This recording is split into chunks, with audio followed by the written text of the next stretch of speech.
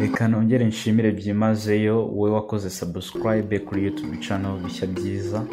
Niba ukunze inkuru tukugezaho ibiganiro by'ubwenge ikinamico inkuru zigiye zitandukanye nta kindi kintu usabwa ni ugukora ku ijambo ryanditseho subscribe ugakora no ku nkuru like na share ugatanga n'igitekerezo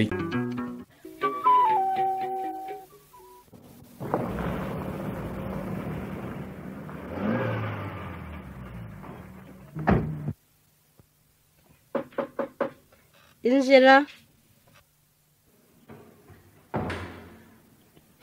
yo ni we pacifique ni igihe urabo. Tuba turaho neza amakuru. Ni meza. Kuri iminsi myinshi ra ni meza rwose. Sinari nguherutse nimwicare ibi birakoze. Eee bakurikiza sheri ni meza. Mm. Mm. eee abandi se bari hehe? Yewe ntabahari Mm. ariko iyo bagiye ntibari butinde da. Mm. makuru ki se y'i kigali? Amakuru y'i kigali ni meza. Eh, bite se by'urugendo rwawe? Ahubwo uzi ko ari cyo cyari kinzanye nje kukubwira ko mbonye ibarwa none ahangaha imbwira ko ngomba kugenda vuba. Ntibishoboka uzagenda vuba? Vuba rwose vuba ahangaha. Wari wambwiye ko ugifite iminsi ra niko byagomba kumera none ngo wasanze ngomba kugenda mbere. Ngo amasomo atangira kare none nzagenda ejo bundi. Ejo bundi ejo bundi? Ejo bundi ku cyumweru. Yo ni vuba koko. Reka mbaze ngira icyo nkoze imana urabone kumbwira iby'urugendo rwawe. Se urambaza. Ubona icyo wampa cyose nacyanga koko? Nsese uretse ko ntawe uguha guhaye n'uburozi wawe burya. Ntabwo ari icyo nashaka kwipfira ariho nyiciye oya kabye ntibikabeho. Hari ikigage n'urwagwa. Nguhe iki se muri ibyo. Nyera kagwa niko nkumbuye. Reka nkuzanire. Naho ikigali cy'iwacu baherutse kunyohereza urakemwa wenyine ntiwanumira ngo dusangire aha murangutumira ntuze. Harwa n'urwitwazo shyikira. Urakoze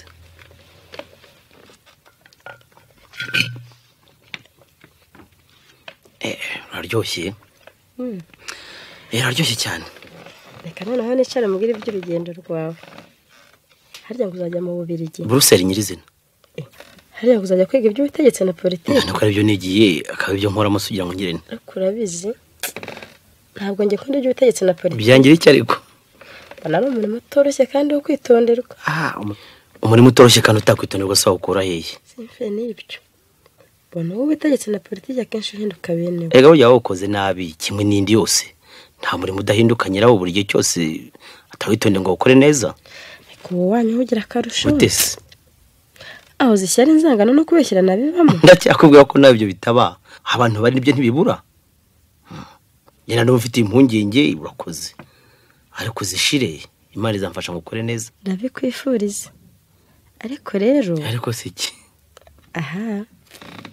Niko pacifique wari wifitiye umwanya mwiza hariya muri minisiteri rwose nk'ubwo utuye n'iki ngo ugiye kwiga. Uramenye se nawe utazabinjira zitazi kwiga icyo bimaze. Urumva nungutse ubwenge ntacyo nta mumaro waba urimo. Urimo? Ariko si iyo myaka yose harya ngo nine? Oya ni itatu.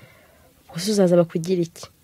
Ese ko uzaba minisitiri bazikuye hehe byibuze ukazaba muka minisitiri sugira yashungaye ariko se ubwo urambaza iby'imyaka itatu iri imbere ukagira ngo ubimenye ni we nazaba ntakiriho? Cyangwa se niyo nabaho? Ahubwo naza ngasanga ibintu byarahindutse ku mugani wawe by'ubutegetsi na politiki kuko ntawe umenya iyo byerekeza. Bene ibyo ni iby'abaramye nanjye nabazaga nkana. Reka nkwibariza rigi niko sugira nawe di. Ko nawe ubu wa wundi dukorana hmm? uranyumva ariko? Ndakumva. Ko yambwiye ko ngo bihemare inshuti yawe cyane byaba ari ugukunteranyaho cyangwa se niyo birenze uko mbizi. Ye gusa yakubwiye ko ari inshuti yanjye ku ruhe rwiwe? Niba ari urw'imigozi niba ari urw'ibiti cyangwa ibyuma sinamenye winsetse mbwira neza ko yabikubwiye. Yambwiye abikabiriza cyane. Ese ku buryo wagira ngo byararangiye wowe umugore we? Reka se gufuka ya pacifique. Ngo vese byaba ari bibi. Cyiza se kirimo ni ikihe wese ntagufuye naba ngukunda. Burya ngo udafuye ni uko bamugira kose nta nkeke byagutera.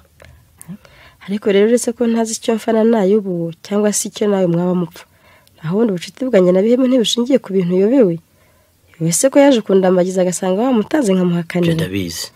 Aho sinakubwiye se ko yakomeje kunkurikirana ngo akuntware nkamwangira ibyo warabimbwiye.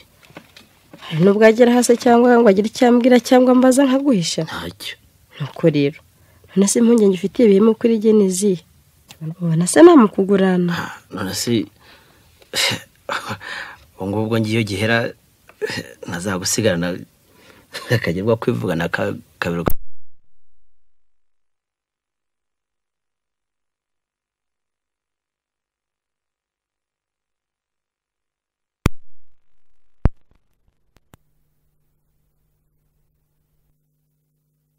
Ucanga mu mpara. Sugi. Ubona urukundo nagukunze rwatuma nkugurana abandi ngo nuko tutari kumwe.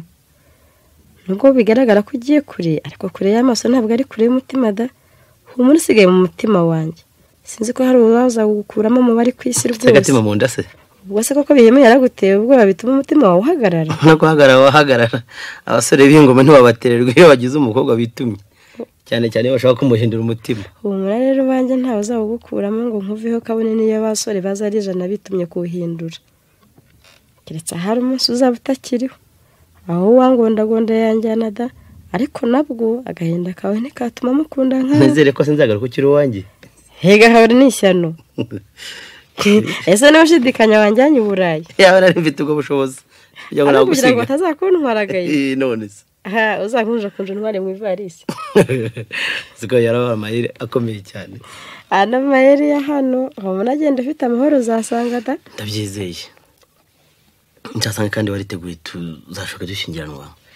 Nta ngorane. Ahubwo uranyibukije. Nkwibutse iki? Natekereje ko ubwo ugiye i burayi wazagurayo ibintu by'ubukwe bwacu. Ndibwira ko iyo bigura neza kandi akaba ari byiza. Icyo ni igitekerezo cyiza ahubwo. Mbonye uko nabigura nabigura da? Ese nkwibariza ibindi? Kugira abo bantu bawe bihemu na na yo y'ubusigi ubona tuzashobokana? Kuri ibi bihembo wampumurije. Si byo se? Nibyo. Ahubwo ukwiye kwitondera ni n'ay'ubu kuko asigaye atandeba neza nka mbere? Kubera iriya buruse ngiye kwigiraho. Twararwaniye ye. Nyuma urushaho agatuza aba wibona. Aho siyo mpamvu ashaka kuguteranya na bihema akubeshya ngo yarakuntwaye? Nanjye niko nibwira. Ukwiriye kumwitondera ari wowe rero. Nanjye nta mpungenge da. Abantu b'iki gihe basigaye banga umuntu mu cyanjye bakamugirira nabi atabizi. Akazajya kubona akabona baramwirengeje. Akabona ntacyo azantwara. Impungenge nagiraga neza we gusa. Ariko se ubona bikomeje? Cyane ariko karimo. Gusa ujye ubitondera. Ubane nabo kandi rero hagize igihinduka wanyandikira. Nibyo. Nahita nkwandikira. Niko se. Reka ngende. Ariko si ubwo ntuzaza kumperekeza. Urumva nayuzwa n'iki? Iwacu niba mpurushya nzaza kandi ndibwira ko batazarunyuma wari wasabye se noneho ngaha tukajyana ukazagaruka ku cyumweru? Yego mama. Reka da ntabwo wabinyemerera. Sinatinyuka no kubibabwira. Aha wagiye ukabibabwira cyangwa ubwo ni wowe reka ahubwo nzabasaba rwo ku cyumweru si byo se? Nawe rero ubwo niko wabaye n'ubundi.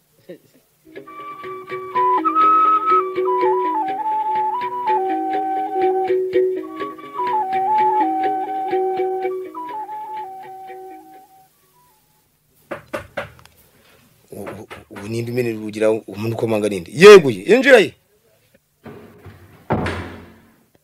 Eh, ese ni mwebwe? Cyangwa ibara utica umugambi ye. Aho murakomeye murakomeye. Eh, zirika. Wansuhuje bihemura? Ubwo ayo mazina y'akazi mwamu yageneye mu bavandimwe mwabane niko tumutunze. Azabihama ntakura muri hatoni ngewe ni diregiteri ku kazi muri surufu gusa nawe wanjye ndi bihema. Ngaho nimwicara ahubwo nimwica bugufi. Ahubwo gira icyo turebera? Inyota ni yose. Kugira vuba da Eh, umenye kandi ko ujya gutumira sakaba akaba yujuje inyamurutete Eh, eh, nikoze murangwa ikize kandi si nk'ubu si ibyo urabizi. Ni ka mitsingi. Kavibara ni ku nkunda agiye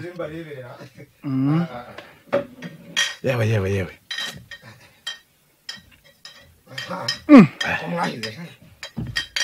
ibyo byose ni ibyacu ubwo ngubwo. Nimwe nimwe mva ko mwahize ko ko mutazahazwa n'inzoga ziwangira. Ko bariye rwose amakazi abiri yose. Ubwo ngubwo ni twebwe yazaniye nimwe da. Akira yiri. Akira uraduhaye byo? Musabuze iki? Ni umugore gusa niba abuze ariko si ubundi bihemu. Ngo bibuze iki? Niba ari umukobwa wabuze. Niba ari amikoro watubwiye tukagutwerera ukubuze iki warongoye? Eh, yewe n'uwo yirutseho ngo amutware nyirawe ubanza bigiye kumunanira. Ese wamenye ko sugira azaza ku iherezo ry'ukwa gatandatu akarongora mu ntangiriro z'ukwa karindwi shawe narabimenye ariko urinda uganya Ndasabandika. yewe urinda kuganya ubarata ko mu mwanya imyaka itatu sugira ariyo bigwa unaniwe ute kumutwara nawe sinzi icyo urwaye da ari nje nayubu nabyitumye sinamara icyo gihe cyose nta mwivugana kwirarira ko ntibibura niko sha ko mwarwaniye kujya i burayi akabigutwara nta ukicaye hano hoshi ntimukajya munyirarira. Nawe ko yari afite aho imigiramo nanjye mfite abaye? none se wakabimenye rero yagurije agatuza ku bwenge nanjye akandusha ku mukobwa mbese ntibibaho? Na jane nawe ntazabona umunsi agatuza. Yabuze ukamurusha atariga none ngo azabone ukamurusha arangije amashuri. Yize si yize ibiki? Biriya by'ubutegetsi na politiki byananirana Eh, naho ubwawe byakunanira. Ko avuye kubyigeraho urasigaye no urumva atabikurusha ibyo byo ntimwabyaho impaka ndende. Ubizi aba yarize. Nawe kandi wororerwa mu mirimo yo kurusha utarize. Namwe murabizi. Hmm? Ariko sibasha iyo nzoga yabananiye cyangwa byagenze yewe bite? twihorere turazinywa ahubwo reka amaherezo ziradukoraho ni nyinshi. Ariko sibasha nikuye ndakumva. Sugira aranze aradukiranye pe byose arabyihariye koko? Arabyikubiye mbega kaga. Niko na yo. Wamfashije sugira uriya tukamurizamo mu migambi y'ubwirasi afite isha? Uzi ukuntu yanyandikiye anyishonguraho ngo azaza ngo nagira ino ngo ashoboka arongora. Kandi ngo nzamubera imperekeza ngo mugende iruhande muhanagura ibyuya muhungura n'ivumbi. Urumva ako gasuzuguro? Nawe si ukwiratara. Ahubwo mbwira icyo gitekerezo cyawe. Rwose hari ukuntu nabitekereje. Kandi nabimaranye n'iminsi. Ni- nikuye. Ubashaka ikintu amuteranyaho n'abategetsi? Ariko namwe murashyengaye muteranyeho n'abategetsi wagikuraho umuntu ubi burayi nabo babino. Sinakibura amanuka zayasi nikuye.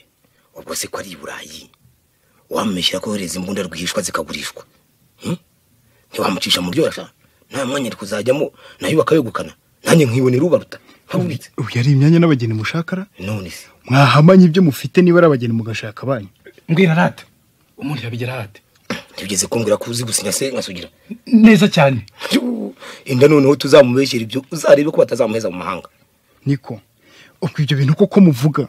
Mubikoze mukabona baramwishe byagenda bite ko rubanda muzikoraho? Ariko nawe ni muzimara nabyanyobeye kumusimbura atariho se si byo byatworohera? yewe. Eee bigeze nawe kumwifuriza gupfa? Iyo apfuye wa mugani wa ndirimbo y'ama- y'amasimbi n'amakombe ntimuzampeho. Reka reka reka reka. nubundi Ah, nubundi wabigezeho hose. Twiganiraga. Reka, reka, reka, reka, uramenya uramenya twiganira. muganira muganira. Iki muganira mutekereza kwicisha umuntu ngo muraganira. Ariko si uruba dukomeje koko nawe zirika mwaba mukomeje mwaba mudakomeje. Gukinisha ibintu nk'ibyo si byo? Nikoye ariko se urumva umutegetsi wabyemera yaba urwaye yabuzwa n'iki kubyemera ko numva ngo muzigane isinya ya sugira yewe niyo twayigana ka gihumbi. Nta mutegetsi wabyemera atiboneye ikimenyetso. Aha. Njye nyamara abategetsi bo badakinishwa. Mwabikora bikamera nk'ibyo wundi wakinije umukomanda w'ikigo akakubita inkoni z'iki- icyumweru cyose. Bishoboka. Hagira inkuru ubwo se byagenze bite sha? Biba ari umupfu. Reka ninywero vibare asigaye ngire nigendere. Eh, yewe. Tubwire ibyo by'uwo mukomanda. Nabwira iki se? Ubu akamaze no kungeramo ta. Nari navuze ko amavidanje yabihe mu mita yamuheze none kananiye ntaramara n'abiri by'akago k'i rwanda. Umva ye. Akazi. iby'inzagwa tube tubyihoreye. Twibwira iyo nkuru y'umuntu wakinishije komanda. Ubwo numva ari ishimishije none namwe murajya guteta mubeshyira abantu muri leta. Reka da twikingiraga. Ubona se twari dukomeje. Hanyuma se uwo mugabo byaje kumugendekera bite? Komanda yamumariye ibyumweru muri abego aguze ubunyavura umunsi bakinisha benshi na? Ize ko numva rutakiva mu kanwa afashwa niko ko twategereje ngo ukaba yambaye noneho birakomeye ahubwo aratsinzwe. Uramufashe byarangiye ndakurahiye umuntu avuga neza aka kanya. Mm. aragurnya ahubwo. Turere. Reka ubanza ari kwisinziriza. Zirika. Zirikana. Yambaye nka data. Komanga wumva zirika yewe wa mugore we. Byarangiye arimo ararota umugore we noneho mukirigi turebe. Reka reka reka. Yasinziriye byarangiye. Kari. Yewe mwihorere. N'ubundi yatubuzaga kwiganirira. Numvaga n'ibyasugira tutabigenamo neza. Shana ubundi simanya ko atazabi- ko atazabimubwira. Cyangwa akabibwira ubaruta nyagasani byadukuraho zirikana zirikana yewe reka mu buryo rwarare mu mbavu ndebe. Muwabaze ahubwo. Reka da! Yewe yasinziriye. Ahubwo twiganirire. Enda musegure Eh, ngamuryamishe. Musego hariya. Ijosi ritaza kuvunika. Mpereza Mm, akira musegure neza niko se ibi ndakumva ibyo bintu kuko byasugira wabitekereje ute? Ngo nabitekereje ni si kugira ngo ni ibintu byoroshye ahubwo urumva ni ikintu gikomeye ubikira ibanga. Uzabikira ibanga. Mbwira rwose. Umva rero ndagira ngo twandike urwandiko mu izina rye. Mu izina rye? Eh, twandikira umuntu uri duhimbye izina. Urumva umuntu duhimbye izina utabaho. Maze amwandikira amubaza ko imbunda yamwohereje yaziboneye isoko. Urumva? Ndakumva rwose. Maze kandi ntambye si kuzi gusinya uzi kubisinya nyine. Kuzi gusinya nkawe Eh, ni byo koko? Ntabwo byoroshye. yewe ni byo. Ah, zana urupapuro ahubwo tu- tubyandike. Urupapuro zishobora numva rurwibura urupapuro rwo ngo urakire. Urumva? Ndakumva rwose. N'ikaramu nk'ubwo utaza kubura ibyanyu ntiwamarira umva rero dore ibyo ugiye kwandika. Urumva? Ndakumva. Andika ngo uruseri ku wa cumi na kabiri kamena. Kuri ka e. Ka- e. Ka e. Ka e ninde? Wahise nyine si kwakujije se nyine nakubwiye Eh, kurushaho kugira vuba. Icyo cyago yakanguka ugasanga eh, arabidutishije Eh, dukomeze. Ndakumenyesha ko nzageraho tariki ya makumyabiri na gatanu kamena saa yine za mu gitondo. Mu ndege ya sabina. Mu ndege ya sabina. Eh, mureke sabene je ni kuyi icyo gikenya ko kibona cyane ra komanga komanga cyoroshye umugoma gihirikiye ahubwo kiboroshye yewe oya, tutamukangura. Eh ni byo koko. Eh none komeza noneho. Eh umugambi ni wa wundi. Wandika ndi kwandika. Nibinshobokera nzaza nzanye n'izindi. Nzaza nzanye n'izindi. Uzazanye n'izindi. Eh uzantegereze ku kibuga n'imodoka. Yo kuzipakira nyine urabyumva eh ni byo pe. Yo gukunda sugira Eh, pacifique noneho reka nsinye. Sinya n'ubundi nurisa rukundi ariko sinye kwa kundi wamwiganaga rwose ngasanga ari byo koko. Si byo birebera se. Ah, reka urebe ahubwo. Nibyo koko. Nisugira wasinye neza rwose. Niwe ni we. Yewe uzi ko ari byo uzarwa ndi uyu se ni igikomeye kirimo ja warushyireze mu iposita akarwohereza abashinzwe umutekano. Hari ingorane. yewe ahubwo reka twandike n'uruherekeza. Zana ikaratasi noneho aba ari wowe urwandika. Ariko rero ibi si byo? Kuki? Kwandika ibintu n'intoki ni akaga reka tuzabyandike n'imashini hanyuma tuzasinya. Naho kwandikisha intoki ahubwo batugenzura bikadufata. Yewe ejo nzabyandika ku mashini. Hanyuma nzabikuzanira ubisinye tuzabyohereze. Ibyo byo ni byo. Ahubwo uru- uruherekeza rwo reka rwandike n'intoki. Eh. ndagerageza guhindura umukono wanjye urarwandika ute? Yewe, reka naje nduhimbe nawe uhimbye ruriya. Ndandika ngo kigali kwa makumyabiri kamena ku bashinzwe umutekano w'igihugu. W'igihugu? Ye umuntu ukunda u rwanda abohereje uru rwandiko kugira ngo musuzume ibyanditse mu rwandiko rwohererejwe kae ya kaye ni ukuyikomeraho nyine nije ukunda u rwanda sinivuze gaspar uzi ko ari byo koko burya abantu ni ukuzuzanya. Noneho uzasana rwo wandikisha imashini ndusinye tuzohereze mu iposita. Ah, ibyo ndakubwira ko ibyo nzashobora gusa. Nubona ubaruta wanshinyaguriraga ntamwivuganye uzanga yenda kuraye nawe kandi uzivugana akazi byanze bikunze. yewe sinarizi ko utekereza neza bigeze aho ngaho. Reka shobora uvuga buru nubwo yasinzire wenda ubwo yarota byumva. Eh, eh, yewe sawa waracyarasinziye ko atakibonara komangwa myabuna wumva zirika zirikana ubwo atagikoma yagezweho nta- mpungenge. Ahagira ibitotsi ni nk'ibyo umwana ndamuzi. Yewe ni ukubera inzoga? Ariko se amacupa abiri gusa niyo yamusindishiriza ariko saba twamukanguriye tumurya n'inzara ntakanguke. Urabona ko ugize nka ntibishoboka yewe yasinziriye. Ubwo yasinziriye. Reka nanjye ngene noma anje kagezemo umurekere muri iyo ntebe. Ntakanguka urumva guhamagaye. Nagize mu gitondo kandi ntacyo bitwaye. Use kumubyutsa aje ku kazi k'abandi. Yewe ndabona bwana dukereyeho Mm, ngaho ugenda ryo ku kazi ye ngaho uramukeye uramukeye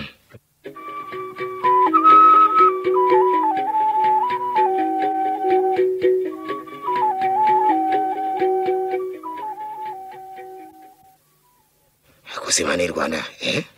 Zirikana cyasinziriye muri ya ntebe yewe reka njye kureba. Yaraye koko. Mbe mbe zirika. Zirika nampaye siri mu gitondo bwakeye kare mbega inzoga mbega ibitotsi Oh, oh, oh. nabimukiye iyo munkangura nkajya kwiryamira imuhira Sha, uzi ukuntu wasinziriye twariye inzara twakira igisereka da neza neza aho turanebe turakwerurara mu ntebe nta kundi twari kubigenza na yo barizi nta y'ubu yagiye kare He. zino si inzoga ni icyago yewe icyakora cyo urabizi reka nze ndebe ukuntu nabwira umubuyi arebe ukuntu ya- yadushakira icyayi n'amazi yo gukaraba. Ese nzi niba akazi ka none nza kugashobora ra? Kwihangana ugakore niko bigenda none. Mbe yewe zirika. Ubanza icyayi cyaba cyabonetse raho Eh, nda- ndaje. Yewe ni ukubanguka kugira ngo tujye gukora akazi k'abandi.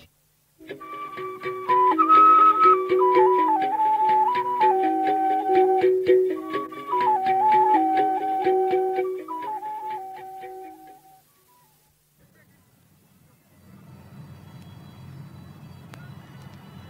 ko twari dukerewe ahubwo indege yahageze kare. Gusa ugira ngo uriya ngo uriya mu bazungu benshi hari hagati. Ese uba rutarihe bimwe? Ariko na yo wajya ureka kunsarika buri gihe. Ndamucunga se. Yewe aho ngo uherukiye wamucungaga da si nkuru ari kumwe na murumuna wa sugira se? Manzi. Ngaba ariya aje zirika ye. Yewe aracyatwikoza se ukagira imana we. Reka si ukunezerwa wagira ngo Eh, noneho wowe se wabura kunezezwa no gusanganira fiyanse avuye i burayi ariko yewe niba hariya abantu bagiye ku kibuga basanga ni bande? Urabareba. Ngaba ariya baragenda basanga wenda harimo umutegetsi bagiye kwakira. Ariko siko mbona harimo ba- bamaneko? Nabaye Dom, cisha hano hagati urebe kuri uriya wambaye imyenda y'umweru. Uriya wambaye imyenda y'umweru. Reka ubanza ubanza ubanza haratari we ubanza haratari we bebi bihema ni iki se ko murebe ko bikankuka bigukuka se bigukuka iki? Si akazi kawe. Mva n'iruhande ndetse. Niko na yo. Niko na yo. Nayo biki? Uragiyo urampamagarira iki? Ndakwiyamye zirika numva ushaka ko dutungana na hano uramenya Mhm, ntongana nawe dupfa iki Eh, mbega ukuntu sugira yabyibushye we. Eh, dore aradusuhuza utawe ibyishimo birenda kumusaza rero utababonanye. Mbega mbega umuntu ukeye. Eh, dore babandi twavuga baragenda bamusanga. Dore baramwegereye baramufashe. Niko Eh, mbe bihemu kutavuga biti mvuga se mvuga iki? Baramujyanye we baramujyanye. Eh, birakomeye. Yese koko ibyo mwa- mwakinishaga mwe mwavugaga mwarabikoze. uragiye dukora dukora ibiki? Ngiye kubivuga niba mwarabikoze rwose bamugarure ni ukuri ngiye kubivuga. Ye karimi nyamwireka uvuga uvuga ibiki? Byagenze bite se dawe? Harya twari kumwe? Muramenye. Reka ajya kureba aho bamujyanye. Nikuja yewe cya- cyangwa kubanza cyabimeze sinakubwiye ngo azatumenya az- azabimenya akubanira ujya mitima ikomeye rwose. Zirikana! bamujyanye hariya mbonye bamushyize zirikana. Zirikana. Nushaka kuzirikana ibyo ugiye kwitamo. Nuramuka uvuze ibi bintu. Bibe no- bibe none. Bibe ejo. Cyangwa ejo bundi. Nibitagukora uzangaye Bi- binkora igihe rero? Nigeze ngambanira. Nimwe bizakora mwe mwamugambaniye. Dukora se twakoze icyo dushinja. Ese wamuretse nagenda avuge ko abesherwa nzaba ndeba abazabi- abazabihamya.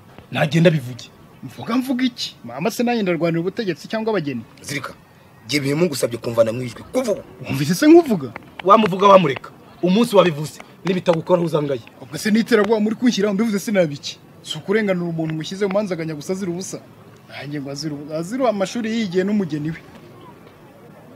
Ndetse reka nigendere maze ndore. Cyane bivuga tuzaba tureba wanjije ubuya ndagiye rwose sinzongera no kuganira namwe abantu mugambanira inshuti yabo ese ubwo umunsi yabimenye muzamukizwa n'iki? Cyangwa niyo mwamukira? Igihe mucyo mwahikizwa n'iki ngo abantu bo basaze yewe zirikana uretse kugenda mureka agende ukasaba isaka bati sakaramento ntagende ariko rero bihemu uyu mukenyera tuvamo kandi biradukora mwagira ubwoba mwagira ubwoba gusa ko atigeze abona twandika si ko yarasinziye azaduhamye nanatuvuga tuzayimuherezaho nibitamugaho wangaye Ash, ariko se none yaba yarishinjirije byashoboka biti umuntu twakiriye se sha tukamurya inzara tugahirika urabona ko yari kuye kubyihanganira ntakambuke koko kandi ndafite n'inzoga yari murimo Ah, cyakora rero nimenyekana ntituzakira ubaruta. Azaduhiga inzigo tutazakira ibi rwose ni iki? Humura. Genda hamya ko nazirikana uri atazabona ukuntu abivuga kuko nta mugabo yabona yamukora wabi bitangira. Ko tugeze tubyandika hari Eh, ni byo kuko twaniyanditseho wowe. Nibyo. Reka twigendere. Ntuje se nkoje kugwa cya kirahuri twari twiteguye gusangira hamwe na sugira oya sha. Twazakinywa ubundi urebye. Reka dutahe batubona tukinywa twishima ko ntibagira ngo twishimiye ifatwa rya sugira cyakora tutaragenda. Hari inama nagira ngo tujye. Eh, nagira ngo kugira ngo tujijishe ibi bintu Eh, ndagira ngo dukore uko dushoboye kose tubihishe. Ubaye tutazava abimenya tumukorere byose bishobotse. Bimwereke ko twifatanyije nawe mu kababaro. Ndetse duse naho tumufasha no kuri kiriya kibazo cyo kumenya impamvu zifungishije sugira kuko buriya ntabwo azizi. Azibwa ibi ni iki? None. Icyakora ni inzira nziza da. Niyo bityo ndetse azadukunda ndetse cyane cyane wowe uzabikomeremo kugira ngo azakwemere oh, kandi ari ibyo nshaka nyine. Ikwiye kuvunika ni byo rwose tuje tumuvugisha neza tumufashe bityo ntazibwira ko ari twe twagambaniye umugabo we. kereka zirikana nabivuga ariko wanabivuga ntacyo bizafata sijya nizo nzandiko niziboneka basanga atari twe icyo gihe tuzayimugerekaho bimuhame nakarinda tuzaba turi babiri ari umwe ibyo byo ni byo hari ikindi si ngo dutahe ndumva ntacyo ariko twarakoze twarakoze rwose. keretse rero ko bazaba ibimenyetso bizambunda bakamurekura naho ubundi twari twamukoze kumurekura byo bazamurekura da nyamara wabona bamuhejejemo? Eh, niyo mahirwe yawe. Wese urorere ha ngaho wirirwa hora Eh, urirwe bihemewe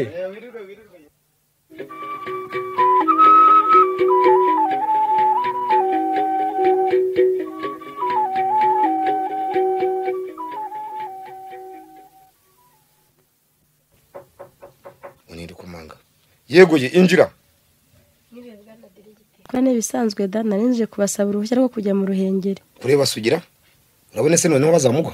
Ni ukwiyumya simbizi ariko rero ubaruta ntugiye inama banza wajya ureka kujya kureba sugira uriya. Kuki? Uzi ukuntu twese twaguye mu kantu mu ifatwa rya sugira? N'ukuntu na yo ubu nanjye twabyirutseho dushaka impamvu yatumye afungwa ndabizi. Eh, uzi n'ukuntu baguteye hejuru? Bagusaka bibwira ko bafatanije nabo. Bandenganya ariko. Bakurenganya nyine. Uzi ko bakwirukanye muri minisiteri. Nkakubona akazi hano muri sufu. Erega byose ndabizi. Iyo ntabagira mba narapfuye. Nuko ikindi rero uzi ko twakoze uko dushoboye ngo tumenye bamugambaniye bakamurega ibintu bitari byo. Bikanga bikatuyobera n'ubundi umuntu namubujije kujya kwiga arangarananira. Ariko se kumva ari ukumubeshyira kuki batamurekura ibyo byo buriya baracyaperereza wenda nibamenya nibabimenya neza bazamurekura. Ariko rero nkubwire bwana iki? Umunsi namenye umuntu wamubeshyeye ibyo bintu. Ni ukuri ntakora uko nshoboye kose. Ngo mwicishe uzangaye. Wabimenya? Byihorere nyihera agahushya gusa. Nawe byo kumbuza kujya kumusura. Nibashaka bazamunkurikiza nzamusura naryariye nuko nyine batamumpa wakenze n'iryo? Ariko umunsi bamukurikije kuko bakagufunga. Wumva uzaba wungutse iki? Ko batazanabafungira hano bazafunge. Pe neza. Aha ejo uzagende? Ariko n'ejo gusa? Eh, ndetse kugira ngo nkorohereze hato utazagira ngo singufashe uzajyane n'imodoka y'akazi. Murakoze. Rega nta gihe mutamfashije. Ni uko nyine ari ugufasha umuntu utazagira icyo abitura. Ese nyine undi ushatse kunyitura buri kinyitura baruta we eh? Nakwitura iki se wanyitura iki ese wakwisabira umutima wawe ntubaye sugira oya si ibyo nashaka kuvuga cyane. Noneho se wakwisabira ko tubana? Dusanga tutabana se. Turabana yego. Ariko noneho ndagira ngo uzambere umugore. Hmm? ko ndi umugore wa sugira se naba umugore w'abagabo babiri ariko baruta we. Wariyemeje pe wanze ko tubana? Rwose unambira sugira Hmm? ntabwo kumva uribona ufite icyatuma wanga ko tubana? N'ukuntu mpora ngufasha mu bibazo byawe byose. Ngira ngo uzi ko nakubwiye ko nakwemerera kubana n'undi ari uko sugira tukiriho atagira uwo twabana rero. Nkwemereye nabamwifurije kutabaho. Ntibikabeho aho se ne- aho ntibyaba bikobaje? Hmm? ibyo byo birambabaje. Mm. kandi nkubwije n'ukuri ko nasugira kumvanya iryo jambo mwabe. Yewe nezere rwose ko utazabimubwira byari urwenya twiganirira kada uramenya narasinzimura Hmm, ntubifate ihame. Cyangwa nzaba mukuye he Namve- ah, reka tubyihorera Eh, ejo niba wenda uramutse ugiye ukamubona uzamundamukize ntibyabura Eh, ngaho urubwo uzagira urugendo rwiza. Murakoze. Eh, yego yego uzabwire umushoferi mahame muzabure muzajyana. Harya amahame ni wa wundi utwara ivatiri itukura? Iyi nuwo murakoze. Yego. Gukora uyu nguyu nagerageje uko nshoboye kose. Umutegetsi ugira aranzananiye pe. Ariko buri mubuze iki gituma rwose ako gakobwa kangura n'uriya munyuru sike Hmm. ariko bavuga ko yanyemera sugira apfuye wakora uko nshoboye kose agapfa yewe oya ibyo twakoze birahagije. Gusa nzamutunga nte kuko ariko undi ko atari umukobwa wenyine washaka undi. Ah, yewe. Hmm, ubanza ntabaruta ubaruta rwose. Reka ntihangane nkomeze mukorere ibyiza. Amaherezo sugira nadafungurwa azanyemera byanze bikunze. Gusa umunsi yamenya ko ariyo wamufungishije kazaba kabaye. Yewe ariko ntakimenya nazirikana nari mfitiye ubwoba bwashize amezi atandatu yose atarayivuga nta kibivuze. Nta ntibivuga kandi ntibizaduhama. Nta kimenyetso bazabona cyakora rero urukundo rwuba ruta kuri sugira ndayaba rukomeye. Sinzi ikizarumukuraho rwose atari urupfu. Ishwi simbihamye.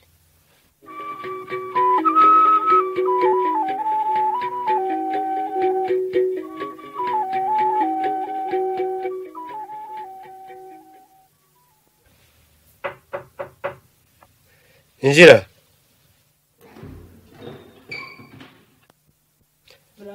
porokire uraho uraho madamu yego. Nakumarira iki? Nari nzanywe no kubasaba uruhushya rwo kuburana n'umunyururu ufungiwe ino. Witwa nde? Nitwa ubarutanyesi kuki ari uje kubisaba? Diregiteri wa gereza yarukwimye. Sanze adahari. Kuki ari uje kwaka urwo ruhushya? Impamvu ni ebyiri. Ni izihe? Iya mbere ni uko nubwo ntamusanze ubusanzwe ndamumusaba akamunyima. Inshuro enye zose atamumpa. Iyi ni impamvu ni iyihe? Iyi ni nuko nabonye ari abasirikare bamufatira ku kibuga cy'indege. None nkabaje kubabaza niba mwamenye icyo yaziye mukampesha n'uburenganzira bwo kubonana nawe. Uwo mugororwa mupfana iki? Ni musaza wawe? Oya ni fiyanse wanjye. Ni uwitwa nde? Sugira pacifique. Ye? Sugira pacifique. Eh, harya ngo ntuzi icyo yafungiwe? Ntabwo tukizi rwose. Twabonye afatwa gusa. Ntawigeze kukubwira icyo yazize? Ntawe. Niko ushobora kwihangana ibyo ngiye kukubwira? Ko munteye ubwoba ihangane. Nyagasani we nibikize harya washakaga kubona na sugira? Yego mubyeyi. Sinshobora kumuvuga kuko mu ruhengeri mwamwimuriye he ni we nshaka kukubwira. Ariko ntarakubwira. Ndagira ngo nkumenyeshe ko sugira waba ari umunyabyago kurusha abandi bose. Cyangwa ndabicuritse. Hari n'undi umurusha ibyago ndeba. Umunyabyago bivuga se ko kagira imana we? Ndagira ngo mbanze nkubwire icyo yazize mwamungiriye neza mugahekamo sugira yarezwe ko yoherezaga rwihishwa imbunda zikagurishwa. Ibyo twabisomye mu rwandiko rwanditswe mu izina rye ndetse ko azava i burayi azanye n'izindi nyinshi. Yo mbese koko byari byo? Ntibambwiraga ko mutabizi. Twabyumvishe amahushuka dutyo uretse ko tutabyemeye. Niko byagenze. Ari na byo byatumye tujya kumufatira ku kibuga cy'indege dukeka ko byaba ari ukuri. Nari mpari we narabibonye. Wagize ibyago n'ubu ukibigira. Ngo? Aho tumufatiye twakomeje gukora nkete dushaka imbunda turaheba. Hanyuma si mumurekura uretse se wumve twakomeje kugenzura dusaka no mu bantu baziranye nawe ngira ngo nawe warasatswe. Nanjye baraje. Twakomeje kugenzura tugeza n'aho dusuzumisha iyo sinya yo mu byuma byabigenewe dusanga atari sugira wayisinye ese nawe mwari muri muri anketi n'igihe wayikurikiranye. Niba se mwarasanze abeshyirwa kuki mutamurekuye cyangwa se ngo nibura mumureke agire uwo bavugana. Twangaga abashobora kwica inketi cyakora bimenyekane ko abeshyirwa twashatse kumurekura? Yewe yararekuwe se? Yararekuwe mama we ko yatinze se kutugeraho ari hehe? Imana ishimwe ariko. Uretse. Kuki yewe ko mwitse imitima se? Mubwire we ari hehe ariko we? Uyu munsi rero nanateguye kumurekura. Hanyuma? Hanyuma se? Ari hehe? Yewe ari mu ndangiro rwose we. Mu gitondo ni ho bamenyesheje ko yari yarashwe ashaka gutoroka. Dorere ibi ni ibikize muko ye muko cyo rero? Ndabwira nte ko umukobwa w'abandi nawe apfuye? Anye anye reka numve ko umutima uterara. Ye, anye yampaye ubu ndabyifatamo nte? Nabimubwira iki kimoka agira imana mwe? Yewe nye anye ubaru. Ubaru ni iki ni iki yewe. Ndashaka kuvugana na sugira humura humura. Humura humura. Ihe nijye muvugana? Humura humura. Ntundeba se?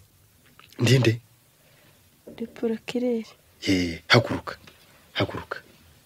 Eh, ngaho icaraho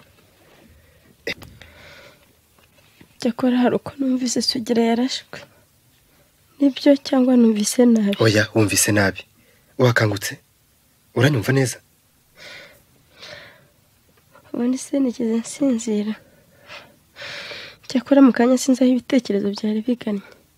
Ariko noneho ndumva neza ngaho nimumbwire.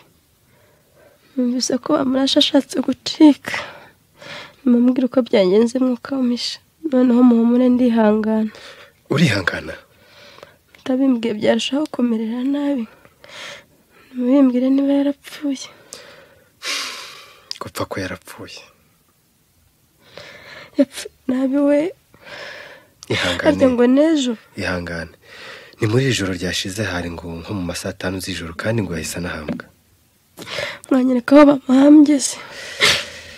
Ihangane ihangane. Reka nguhe agapapuro kajyane kuri gereza. Hanyuma barakwereka aho bamuhambye ndetse nunashaka n'imyenda ye barayiguha. Murakoze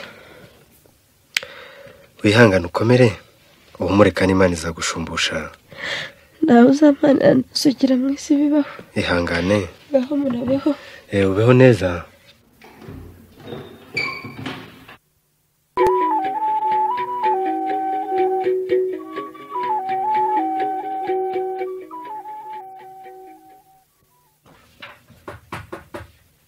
Muraho kwa biyemu?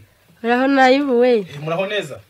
Uraho cyane. Mukomere. Namwe Eh, mwicare eh, nuko murakoze yakoze ko utarebukaga inora bite byawe Eh, reka madamu ntiwaturenganya imirimo nsiganye hariya muri minisiteri ntiwayitererwa ntigituma ntarabuka rwose ibihe musariye reka ndebe ko yaboneka yari yirambitse. Ariko bihe muyiboneye umugore nyawe koko? Burya munambi yamuziho kanyagwa. Cyakora azaza bishimira. Iyo namufashe inama yo kwikiza sugira ntamufite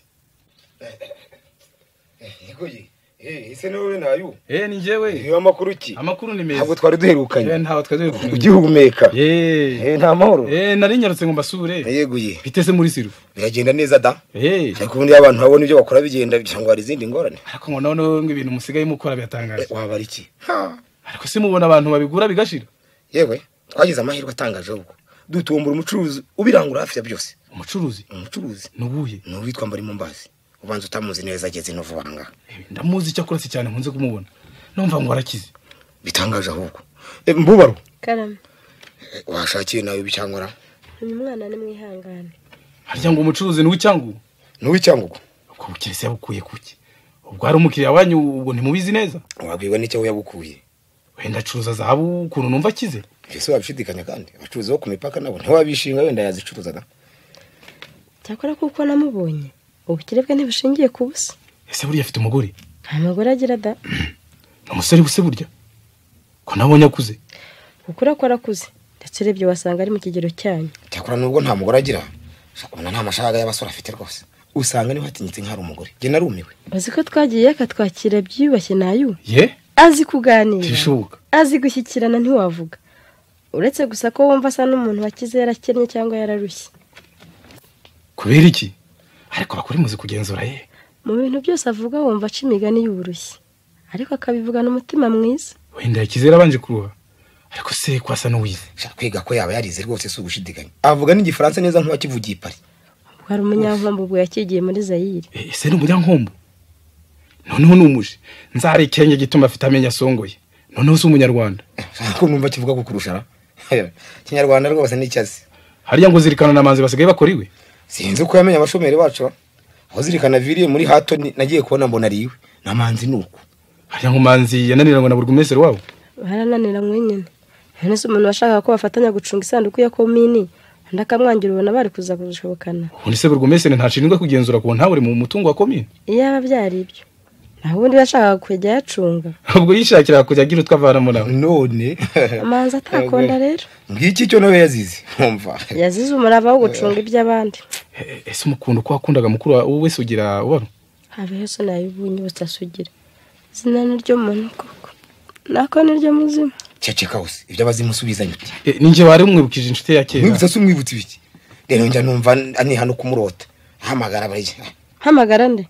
Ziba uhamagara abazimu bawe. Mbese nigendere bwo utangiye kuntanganyiriza ubusa. Ngaho ugenda usanga abazimu bawe. Ibyo na byo. Ubundi ahari ni uko napfa simubone naho ndupfa nkamubona. No gupfa nkamusanga ntacyo byaba bintwaye. Aho murumva uyu mugore mwuka agira imana mwe? Kubona ari ugutunze. Kwangurana abazimu urumva ari byo? Ni ishyano ni ukuri. Oya se have mwitungana no mwitungana ugakubita nagakubita urushyi. Ni ishyano. Urumva ngo gusanga sugira ntacyo byaba bintwaye bimutwaye. Cyangwa se wari umbwiye ngo nimusange kwashe mva mu maso. Genda se. Nushaka umusangira ijuru. Iyo mwitungana rwose mupfuye ubusa. Icyatuma mupfa sugira wapfuye mu myaka icumi. Ni cumi n'ine ni ingahe cumi n'itanu da. Kuko umuntu wapfuye mu myaka ingana icyo yose amurote nkaho yapfuye none. Ishyano riragwira mwuka agira imana. Mwe aha genda igihore se igihore dore yaguhunze. Oya ndeka na yo we ndeka muri iki ndeka ndeka rwose. Eh, cyakora rero bihemu wari ukwiye kuzirikana urukundo yamukundaga. Igihe amaze amuririra. Si imyaka ine harya wategereje kugira ngo agusange? Ni yose da. Ahubwo yamenya ko atazanyibagirwa mba narashatse undi ishyano nkarireka Puh! N'ubundi twarakubwira ngo ni we ushaka reka kuburana umuzimu we rero icyo utazi ahubwo ha icyo utazi ahubwo ni uko buri gihe avuga ko umunsi yamenye uwamu- wamwicishije. Azamura niyo yaba se cyangwa nyina wamubyaye. Nanjye nigeze kubimwumvana. yewe nanjye nigeze kubimwumvana. Naramuka amenye ko ari twe twamwirengeje. Ntituzamukira asye to yatugira sati utazi ni umugore wakwanze. Azabibwirwa se niki ntazirikana twikangaga imyaka irindwi wa cumi n'itanu atarabivuga. Aracyayivuga iki kandi? Ibyo ntacyo bivuze. N'ubundi ntiyamenye ko abisobanura kubera ko ari yishe yashinjijwe n'inzoga. Ese shabu yaba yarisinzizagara ukuntu twamukira igitaka tumurya n'inzara yakwisinziriza. Abantu ntubazi buriya. Reka ibyasugira reka tubireke twivugane iby'uyu mucuruzi. Mugira ngo se tubivuganeho iki Eh, nagira ngo ubwo mwabaye inshuti dushaka zashaka inzira zo gufatanya nawe mu by'ubucuruzi. Ubwo akize kandi akaba atumira ibintu mahanga buriya twamwisunga ugasanga tunahakirira. Erega nanjye narabitekereje cyakora cyo nsanga tugomba kubanza kumwitondera tukamumenya neza. Iki si twamumenyaho ni iki? Dusanze afite ingeso nziza tukaba tuzi iwabo tugasanga dukundiye nk'uko muri inshuti. Ikintu twamumenyaho ni iki? Ibyo byo ni byo ariko twitonde tumugenzure. Tuzamenye aho yakuye iriya mari afite. Ataba ari umujoja tuzagenzure n'ibyangombwa bye neza turebe koko ko ari umunyacyangugu. Bityo tuzabone gufatanya nawe ariko tumuzi neza. Kugira ngo ni byo byaba byiza. Ibyo byo ni byo. Ni byo ga? Naho ubone kurikira kubana n'umuntu usongoye amenyo sha? Uzi ikinyarwanda kuriye akavuga ko avuka ku nkombo ha shatse ibyoroshye. Akaba nitwe namba arimo mbazi nirwo wakabimenye. Eh, bihemuwe ahasigaye reka ngende. Ubwo madamu yaryamye umunsezereho abatarota bazimu be uramukeho ahubwo ye ngaho urota imana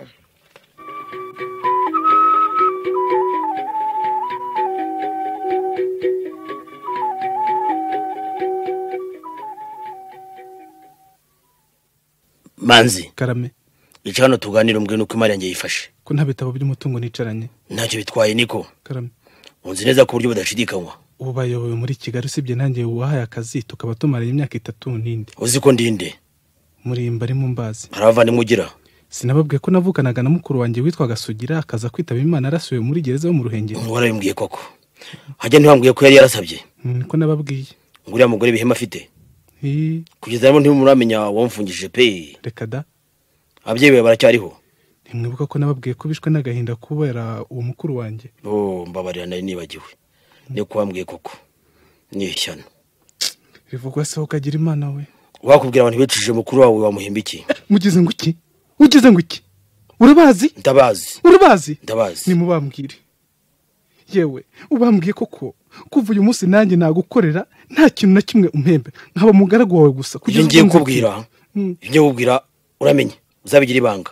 Rwose. Uko menyekanye abanzi bakiriho nawe bakwica uwo munsi. Sinzabivuga ahubwo nanjye nzashaka uko umuhorera. Nutanamuhorera ntaziranirwa. Oya ariho se? Azihorera. Ariho se? Ntambwiye se ko yapfuye navuga ko umuzimu waza azamuhorera nanjye nzafasha uwo muzimu we. Nuko. Mbere yo kubwira abo bantu rero Mm. Reka mbaze nkubwire ibyatugira uramuzi se? Cyangwa n'umukubwiye nuwamumbwiye cyangwa ihangane byose urabimenya kugira ngo muzi ko yafungiye mu ruhengeri amaze amezi atandatu. Ibyo turabizi. Icyo mutazi ni uko wahimezi yose yamaze mu kasho adasohoka. Uretse akanya k'iminota nk'icumi n'itanu cyangwa makumyabiri mu minsi ibiri ko kota akazuba gusa. Iminota cumi n'itanu gusa. Mm. Mm. iminota cumi n'itanu gusa. Ceceka se wumve. Ye noneho rero muri icyo gihe yaje gukundwa n'umusuruveya warindaga abagororwa dore ko ikizakiza umuntu burya ngo ntawamenya aho gituruka. Yaje gukira se? Ihangane. Ye yewe noneho rero bamaze kumenyana neza Mm. sugira aza kumusaba kumucikisha. Eh. nawe akazamugororera. Mm. undi aramwemerera noneho bajya inama. Inama yihe reka se uyumve uwo musuriveri yari yaje kuzana amaraso y'intama ayashyira mu icupa. Bigeze nijoro asohora asugira muri kasho. Basezerana ko yiruka hanyuma uwo musuriveri akamwirashisha n'abakwigusha ndabyumva. noneho agasohoka akamusiga amaraso mu kanwa no mu mazuru no ku myambaro ye. Noneho abahuriye bagasanga yipfushije rwose. Ubwo babigira batyo aripfisha. Nuko mm, aripfisha. Bazamuhamba ari muzima rero. Yego ku mana yawe ceceka se wiyumvira ko abantu burya abana b'abantu bari hanze aha ntabwo babatererwa. Ngakomeza umbwire. Ibyago rero nyine byigisha kwihangana ku buryo utaruzi. Komeza umbwire. Ubwo musuriveri rero yateruye intumbi ayisubiza mu kasho. Babwira abagororwa ko bari bujye kumuhamba mu rukerera. Hanyuma se? Reka se yumve noneho amaze gusubira muri gereza zabo umusuruve yagufatira ingiga y'igiti urumva? Ayipfunyika mu bigunira. Ayihambira ku giti. Mu rukerera abwira abagororwa baraheka bajyana kumva baturamo. Nuko barasibanganya baritahira. Maze bahamba igiti. Sugira ahambwa ryo bahamba igiti koko? Ingiga y'igiti. Uraseka. Si ibyo guseka birababaje. Reka nawe da. Gusa urumva bidashekeje koko? Sugira se ubwo yari hehewe. Nawe yarimo bahetse intumbi. Yari yari yikoreye intumbi ye. Ingiga y'ahubwo komeza umbwire amaherezo ye. Nubwo bibabaje bwose ku mugani wawe Eh, ariko ahangaha ho birashekeje nuko sugira amaze kwihamba. Eh, Eh, wa musuruviya ashorera abagororwa. Nuko ni muri gereza sugira asigara inyuma y'ikigo. Noneho umusuruviya araza amushakira imyenda muri urwo rukerera. Sugira arahafata. Ni umusirivasi wabikubwiye? Si we. Eh. n'undi. Nuko sugira arashogoshera no kuri goma ya zayire ahava ajya bukavu yibera iyo ngiyo arahakirira akarahava ahamara imyaka cumi n'ibiri yose. Ariko yarahemutse. Ahemuka ate? Ababyeyi be barinze gupfa umugeni we arinda arongorwa n'undi ubwo yakoraga iki koko maze se yagaruka akabahumuriza. Kandi byari bizwi ko yapfuye? Cyakora ihangane urumva impamvu. Mm, nuko. Nuko aho bigeze yaje kwimukira ku nkombo aba ariho yibera. Noneho ni ho mwamenyaniye maze arakwibwira. Ihangane. akubwira ibye. Ihangane. Mm. aho agereyo yafashe ibyangombwa by'umunyarwanda arahava ajya gucururiza icyangugu ahava aza gucururiza i kigali. Hanyuma se kuki ntamubonye? Kandi abacuruzi b'i kigali benshi mbazi. Impamvu utabimenye ni uko yishongoje amenyo. Yewe wowe! Niko! Ni wowe! Sugira we! Sugira muvandimwe wanjye! Yewe we niko! ceceka. Sinageze igihe cyo kwitangaza. Hatagira ukumva uvuga iryo zina. Wari uturimo tuzi koko we? None se abakugambaniye warabamenye. Ariko se kuko icyatumye wihisha icyo gihe cyose wabitewe n'iki? Nari ngiye kuza nuko numva urangije ko ababyeyi bacu bitabye imana mbona kuza ntacyo byamarira. Hanyuma ntekereza ko kwisha bigatinda ari byo bizatuma mbona abangambane mu buryo butanguye. Warabamenye se? Warabamenye? Wabamenye ute? Naramenye. Wabamenye ute? Ufite amafaranga icyo ashatse cyose arakibona yamanura nijoro reka mbakubwire ni bande? Naho ubundi ko namenye turacyari kumwe nzabikubwira Mm, ni bande? Nibihemuna na yo yewe we habe sigaho? Ubamenye vuba ariko namenye higera ino. Kuki ari wowe wagize inshuti zawe z'amagara eh, maze mugafatanya mu by'ubucuruzi. Nagira ngo ndusheho kubamenya. Kandi nta kuntu ari kubamenya batabaye inshuti. Nabo banshobojwe nuko bari inshuti zanjye. Kugeza n'aho bamenye kugeza n'aho bamenye uko nsinya. Hanyuma se uratekereza iki kuri ku byo wabitura ntegereje ko imana ariyo izamporera. Ngiki abantu baguteye mu ruhoko kungana utyo n'agahinda ukaba ufite uko wabagenza none ngo utegereje ko imana izabaguhorera? Ko imana itinda guhorera umuntu se? Mm, bashaka kwiduhorera nonaha? Mm, mfata. Mm, ihangane. Ndagira ngo dushake inzira zo kubareka. Noneho leta aba ariyo iduhorera kuko twe twihoreye dushobora kuyifatirwamo tukaba twanabizira. Aho kuba ari bo bapfa ugasanga ari twebwe dupfa. Twabigenza dute rero? Ndagira ngo usige nguhaho ibimenyetso byose byerekeranye n'urupfu rwa sugira maze uzajye kuregera mukuru wawe. Nzamenya ndegera ndi byose ndabikubwira neza ku buryo utazibeshya hanyuma nanjye nzigire i Nairobi ndetse nzimuka rwose kugira ngo bazakurikiranwe ntakiri ino. Ko numva se ushaka kwimukira i Nairobi ibintu byawe rwose uzabisigira ndabikuraze niwo munani nguhaye. Sinzi ko ibya data hari icyo byakumarira. Ntibishoboka ko ari byinshi. Uramenye ntuzabirengwemo. N'iby'icyangugu birimo? Oya. Eh, Eh, nabiraze wa musuruviye wanshikishije. Warakoze byose ni we tubikesha. Yitwa ngo nzajya kumureba? Yitwa Segakiza n'umuntu uzamushime. Cyakora none ntuzabure gushima. Wamenye ibanga ry'uko wari babihemu na babandi bose bamugiye ninde? Ntacyo namuguhishira nizirikana. Uyu nguyu dukorana se? Uwo. Niwe wambwiye akagambane nagiriwe n'izo nshuti zanjye. Umwe ashaka kuntwara umugore undi ashaka kunsimbura ku kazi. Yo mbega abagome. Zirikana se uzamwitura iki namuhaye ibintu byanjye biri bukavu. Mhm. Mm, kugira ngo mbone nuko muhungishiriza kure yabo yavuyemo kuko babimenye bamwica cyakora koko ni byo. Ntacyo utakozeho neza. Imana imana izabiguhembera nawe. Mm, ejo nzaguha neza ibimenyetso by'urubanza rwa sugira uzabona uko urukurikirana.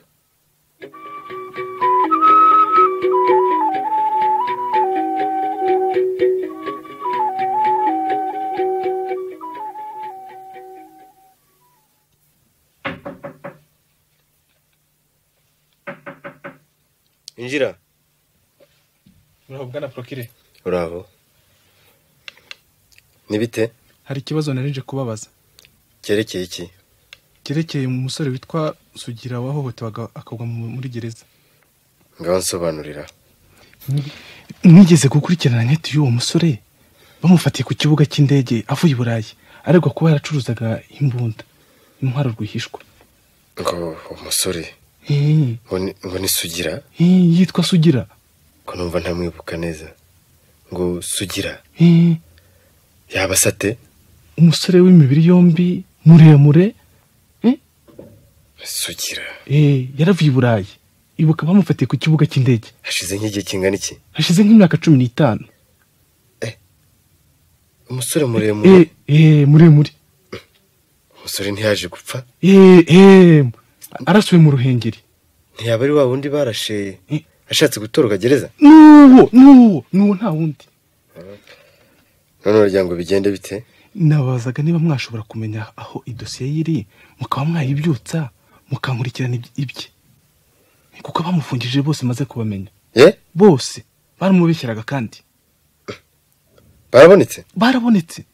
Ntibishoboka. Mm, barabonetse rero. Ibintu bimaze imyaka n'imyaniko. Ariko ubundi witwa nde? Nitwa manzi nyakubahwa bwana porokirere ngo manzi nyakubahwa bwana porokirere uri porokirere rero? Uriya ndimwe navugaga naho ngenda umukozi w'umucuruzi witwa mbarimo mbazi. Eh wa mucuruzi w'icyangugu? Yego. Eh, ufite shobuja ukize cyane niko Ah, numva. mbona akize nk'abandi. Eh, hanyuma si umusore sugira wapfuye mwapfana gike yari mukuru wanjye. Ko nigeze se nkubona muri ankete ya mukuru wawe wabwiwe n'iki ko ari igihe wayikurikiranye? Nabibwiwe n'umukobwa yari yarasabye icyo gihe. Umukobwa? Mm, Muko- umukobwa. Muko- umukobwa witwa nde? Mbere yo kujya i burayi eh, yasize asabye. Hanyuma umukobwa Mm, izina ryo rizi? Umukobwa umukobwa se we yaje kumenya ati. Eh, uwo mukobwa ni we wakundaga gukurikirana urubanza rwe ava ino ajya no mu ruhengeri gutyo eee Mm, nibutse ko umukobwa yaje kunsaba kubonana nawe agasanga yarapfuye yo. Akambabaza ku buryo namubwiye ko umunsi namenya bamugambaniye abagambaniye umugabo we. Nzamuhorera nanjye. Noneho nimumfashe noneho babonetse uwo mukobwa se aracyariho? Aracyariho harya yitwaga nde? Ngo eh, nyira nyiramu- nyiramu- nyiramuruta. N'ukuntu uzabaruta. N'ukuntu muzi kwibuka. Yitwa ubaruta. Ah, ubaruta. Mm, ndamwibutse koko. Ahubwo yarongowe n'umwe mu bamugambaniye. Umugabo witwa bihemu ukora muri sirufu. Wabimenye ute? Erega bari babiri. Babiri? Yari kumwe n'undi witwa nayubu. Gusa wabibwiwe n'iki hari umuntu wabumvise icyo gihe bari mu migambi yo kumubeshyira ngo bakunde bamusimbure ku kazi banamutware n'umugore. Wamutwara umugore we ndamwumva na yo bose yamushakagaho iki? Mwumvara yashakaga kumusimbura ku kazi kuko yari avuye i burayi kandi bakoraga ahantu hamwe. Ahari ubwo ni ishyari yamugiriye? Umuntu wabikubwiye ninde witwa zirikana. None yaba ababeshyera yaba ari bugufi ngo mubaze? Oya cyakora dore inyandiko z'ibyo muhamya. Sana ndebe. Eh, dore ngizi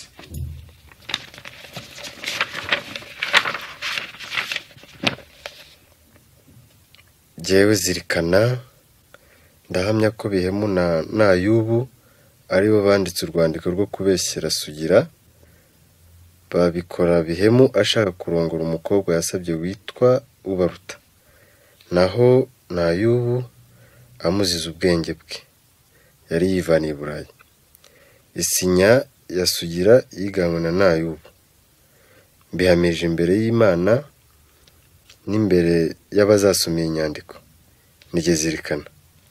Nta kindi kimenyetso? Nta kindi. Zirikana bahe? Nawe turakorana n'umukozi wa mbarimo mbazi. Ibyo bigutangarije atya biturutse ku ki yabaye inshuti yanjye kugeza n'ubwo ambwiye abicishije mukuru wanjye ye ngiye kubikurikirana nimenya neza ibigendana n'iki kibazo nzabishyikiriza ubucamanza. Murakoze.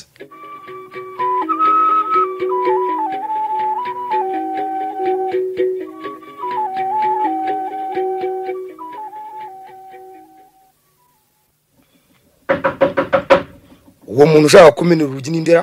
Azi ko akomoka kwa diregiteri ese ntamenya aranarumenaga koko ye nuko ari ku manywa n'ubundi wagira ngo ateye gatarina rwose. Injira! Mm. yampaye Eh, se ni mwebwe. Murabona ko bwana porokireri ni we bihemu? Niki? Niwe madamu bihemu? Witwa nde? Yitwa barutanyesi niko madamu uranyibuka yoya. Ariko ndabona ari ukunca mu jisho nta porokireri wigeze gusanga murengera umusaba kubana na fiyanse wawe witwaga sugira oh ni mbese? Yega yega kubona narabibagiwe ngo mukaba mukinyibuka ni mwebwe. Ko wavuze ko uzakurikira bishe sugira ukabamenya na n'ubu nta kanunu. Ntacyo nari namenya. Ntacyo ndamenya nako. Narababuze. Narababuze ubu narazigurutse. Yo, ariko imana yewe ntizafasha simbizi ariko ubu ndamushaka kandi sindi butinde kumubona ngwiki ngwiki muzamumoneshwa n'iki ku bintu bimaze imyaka cumi n'itanu niyo byamara ijana amaraso y'inzirakarengane ahora atakana uwayasheshe ku buryo amaherezo amutangaza niko madamu karama witeguye kumfasha no guhora uwicishe sugira Uh, ibyo nabirahiriye kumva ye n'umugabo wanjye kandi arabizi neza. Niyo yaba ari data cyangwa mama. Uwo nzasanga yaricishije sugira. Nzamuhorera nta mbabazi n'ubu ndacyabirahira kandi. Nzamuhorera rwose. Byitegure rero. Niko bihe karame bwana porokireri na yo ubu murabana turabana ni inshuti yanjye kuva kera. Uru rwandiko rwanditswe nande? Uruhe uru ruvuga ngo buruseli kwa cumi na kabiri gicurasi Eh, eh. mirongo inani n'umunani kuri ka e ndakumenyesha ko nzagera tariki ya makumyabiri na gatanu z'ukwa gatandatu saa yine za mu gitondo mu ndege ya sabine umugambi ni wa wundi nzaza nzanye n'izindi nibinshobokera uzantegereze ku kibuga n'imodoka ugukunda sugira pacifique Si- si- si- si- si- sindeba se ari ari sugira wa- wasinye urabihamya n'umutima wawe ibyo ari byo byose war- sijye warwanditse si nkubaza ko ari warwanditse ndakubaza uwarwanditse Ubwo- ni- sugira ubwo ari we wasinye? Na- na- naho ubundi njye ntacyo nzi ku by'urwo rwandiko. Ariko si ubundi izo nyuguti za ka ka ka e ni izandi. Zihorere. Urugo rwanditswe nande wese kandi? Urungo kigali kuwa makumyabiri z'ukwa gatandatu mirongo inani n'umunani ku bashinzwe umutekano w'igihugu? Umuntu ukunda u rwanda abohereje uru rwandiko kugira ngo musuzume neza ibyanditswe muri urwo rwandiko rwoherejwe ka e. Eh, ni jye ukunda u rwanda? Sinivuze gaspari ninde warwanditse bihe Si- si- si- simuzi. Ubwo ni uwo si- si- si- si- siniyivuze nyine. Iyo mumenya kandi mba mubabwiye na yo ubwo yavuze ko ari wowe warwanditse? Nayubu na yo ubu nyine. Ari ari mu maboko y'ubucamanza ntibishoboka ntibishoboka ntibishoboka ko bidashoboka yababwiye se kuko ruriya rwasugira rwo rwanditswe nande yamuduhishe ngo ngo yamubahishe kandi ari we rwanarwanditse ahubwo sugira se cyangwa na yo nay'ubu nyine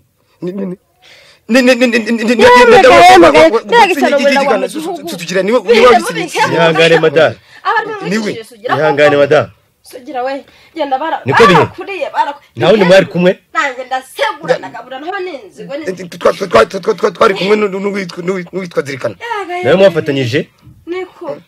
Ni ha- ni ha- ni hahandi kanjye si njya gukomeza kubeshya abantu b'imana. Dore n'uwo na- nabeshye bi- bi- birangaritse ntitwafatanyije rwose. None ugiye kuvugisha ukuri? ndavugisha ukuri kw'abagabo rwose. Uremera ko ari wowe na na yo ubu. Uremera ko wowe na nabi bari mu mwanditsi izi nzandiko zibeshyira sugira Ni- ni- ni- nitwe twazanditse rwose ntacyo nigoragora. Nitwe. nazirikana. Oya oya oya oya oya oya. Twazanditse zirikana yasirijwe n'inzoga uko mbyibuka hari. Ni- ni- ni- yanamenye ibyo- ibyo- ibyo twakoze nta- ntabwo yabimenye rwose. Ushobora gusinya ibyo ibyo mwakoze? Nda- nda- ndabisinyira. Aho usinya hano hepfo yaho nawe yasinye nawe. Ya- yasinye si biki? Soma wumve bikira mariya weyo nkomeze ariko nzamuhorera narabirahiye rwose ngewe na yo ndemera ko mfatanyije na bihemu twanditse inzandiko zibeshyira sugira yohereza imbunda rwihishwa kugira ngo bihemu abone uko arongora umukobwa yasabye bitwububona bikira mariya bikira mariya mwana y'imana. Yari ateganyirijwe. ihangane muganga ihangane mana y'u rwanda mana y'u rwanda ihangane nitwe twabikoze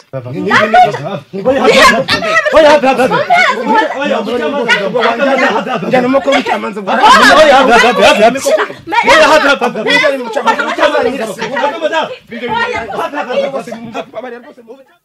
Thank you.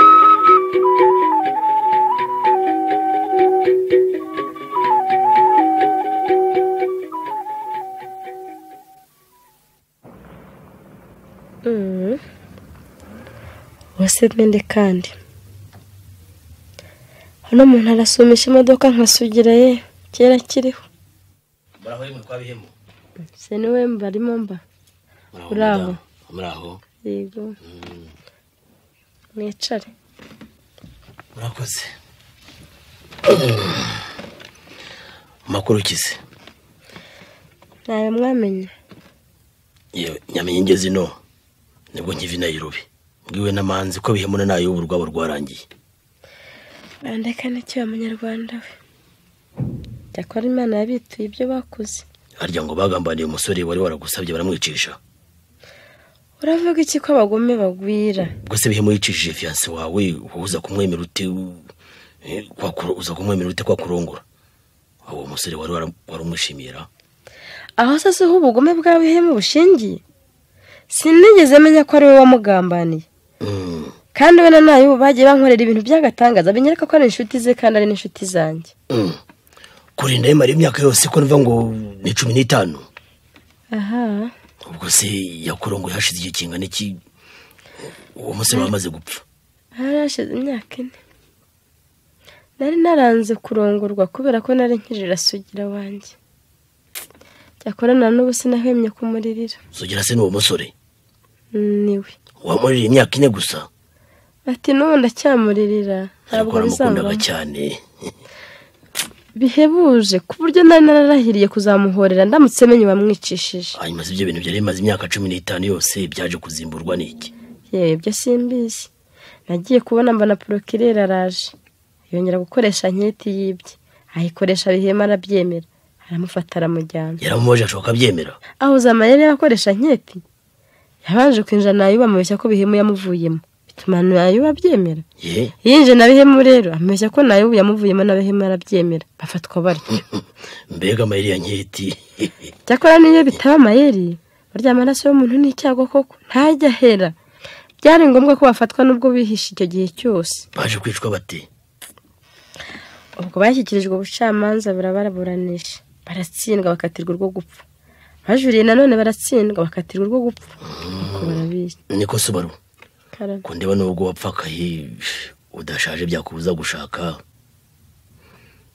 nanjye nkaba ndakuze byambuza gushaka. Ntabwo twakuzuzanya ngo tubane. Asuku mbere ya kabihemu. Ne. Nawe yahereye ku rupfu rwa sugira nyemeza ko tubana. None se wowe ntureba ko uje kunsaba ko tubana ari uko bihema apfuye? None se nari kubigusaba akiriho. Keretse rero niba ari wowe wicishije bihema uko yicishije sugira. Se ubundi mbikoze ngahorera sugira ngo mbone uko mbana nawe byakubabaza ni hahandi hanjye. Ntiwamporera ngo unzurire sugira. Uwanzurira sugira cyakora we? Icyo yambwira cyose nacyumva. Naho ubundi singikeneye abashinyagurira singishaka gushakwa n'abamfakaje. Nikoze uwakoze urasugira ari nasugira ubwo wahitamo gushakwa nande ariko ibyo bibazo byawe by'abazuka ko ntawe nigeze mbona azuka urumva biri butugezeho nkundiye byagiye icyo bitugezaho. Byihorere bikomeza kunzikurira sugira. Naramubuze byararangiye. Bikomeza kunshinyagurira. Ntiyigeze apfa. Uri muzima cyangwa urarwaye. Nta ndwara yo mu mutwe uvanye n'ayiro wa mugabo we reka mpamagare n'umuwayira utaza kunsarana ndi jyenyine. Wihamagara ndi muzima. Ndakumenyesha ko sugira atigeze apfa. Reka hiri ni ishyano abashinyaguzi be ndabamenyera icyo ntamenyereye ni abasazi.